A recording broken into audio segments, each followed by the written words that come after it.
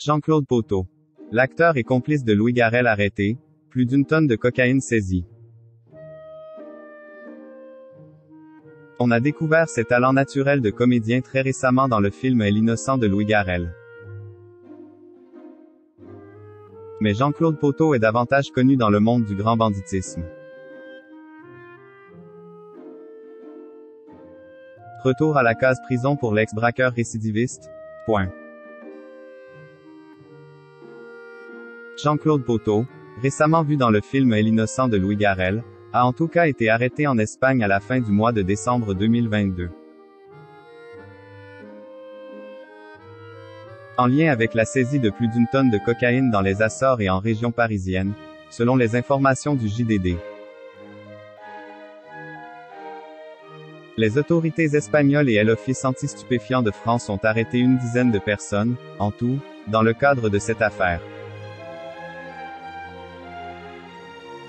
Des informations supplémentaires devraient suivre ces prochains jours. Jean-Claude Poteau est une figure bien connue du grand banditisme français. Âgé de 66 ans, reconverti peintre mais aussi comédien pour Louis Garrel, il a passé plus de 25 ans en prison. Pour des braquages de banques et des attaques de fourgons blindés, et a été en cavale pendant 15 ans. Une vie à mille à l'heure qui a inspiré quelques œuvres. Auteur de bande dessinée. Il avait raconté son parcours dans un ouvrage divisé en deux tomes, intitulé Face au mur, dessiné par Laurent Astier. Laisse tomber amigo, je ne le ferai jamais ça.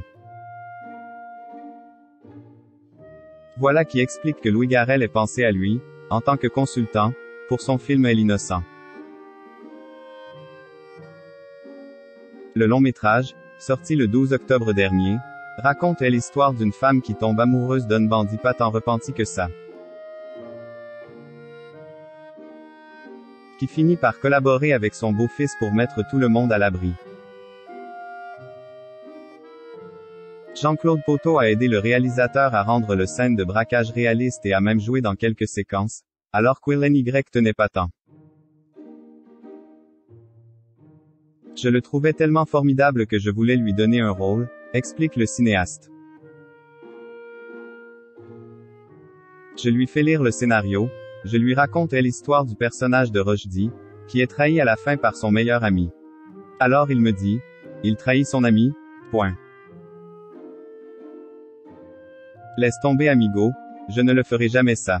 J'ai travaillé toute ma vie pour être un homme de confiance, ce n'est pas maintenant que je vais tout l'heure. Il a fait une confusion, que je trouve très belle, entre le rôle qu'Will va jouer et la perception qu'on va avoir de lui dans le milieu.